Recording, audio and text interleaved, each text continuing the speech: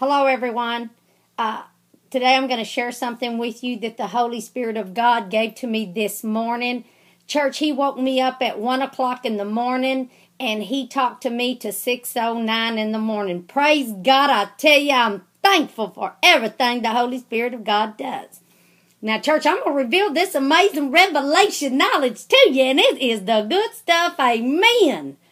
It was amazing, church.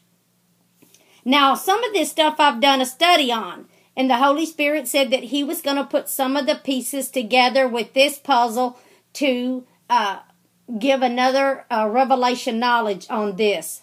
Here we go, church.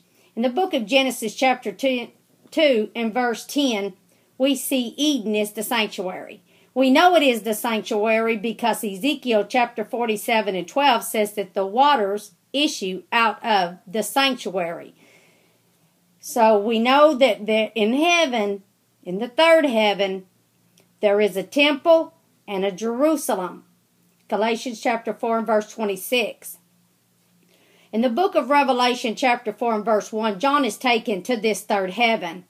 We know it is the third heaven because it is the throne. Revelations 4 and 2, John sees Jesus sitting upon the throne. John also sees the temple of God in Revelation chapter 15 and verse 8.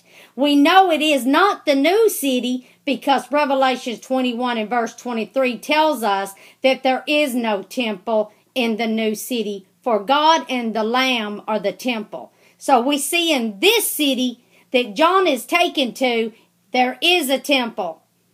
Hold on, church. It's going to get really good. Yes, it is. Amen. So in Revelation chapter 7, verse 9 and 14, watch this, church. John sees a multitude of people in the heavens, and the 144,000 are there also.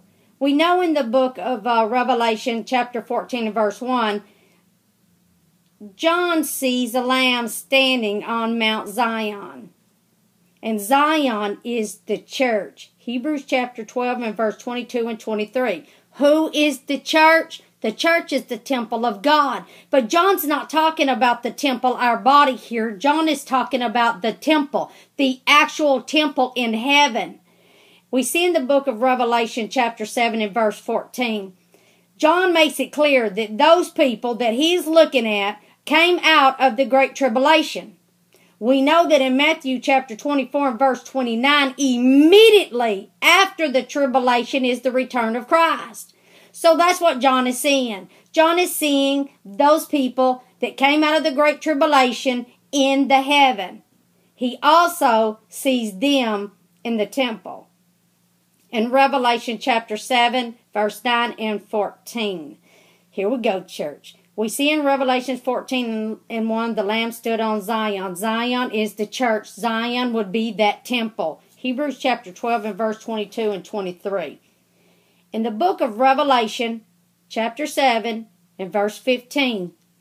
Those people that John are looking at that came out of the great tribulation, and we know that as soon as the great tribulation, immediately Jesus will return. Jesus is returning in that temple. Revelation chapter 7 and verse 15. Those people are in the temple of God day and night. That's what the word says in Revelation chapter 7 verse 15. They are in the temple of God. Verse 16. That temple will protect them from the heat. Watch this, church. In the book of Isaiah, chapter 4 and verse 5 and 6, there shall be a tabernacle. What? What he just tell us? He's telling us that that tabernacle, that temple is going to be here on this earth. There shall be a tabernacle in the daytime from the heat. What did Revelation say? 7 and 16, they are in the temple and they're protected from the heat. Woo, that's some good stuff, church, I tell you.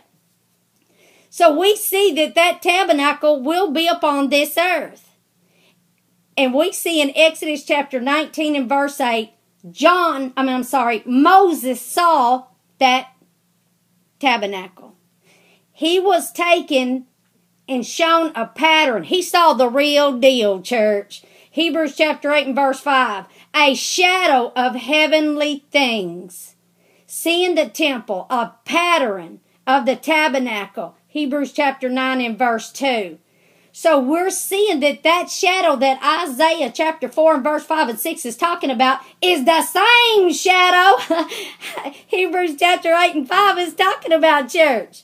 Read the book of Isaiah chapter 4 and 6, church. It's the good stuff. I tell you, that word is amazing.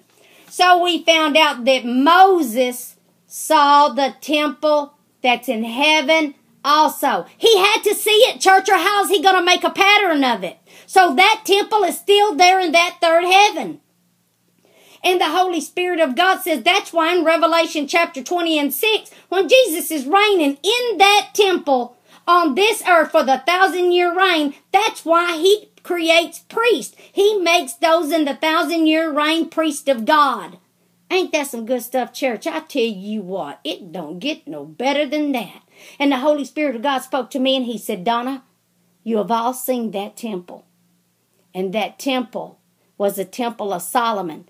I said, Solomon's temple? He said, no, Solomon built the temple of the pattern that was given. But if you looked at the temple that Solomon had, you are seeing the temple that is in heaven, the temple that was set up on the earth in the last days, and Christ will rule and reign from that temple. And that's why we see those that came out of the great tribulation in that temple. Whoo! Praise God! Church, that's amazing revelation knowledge right there.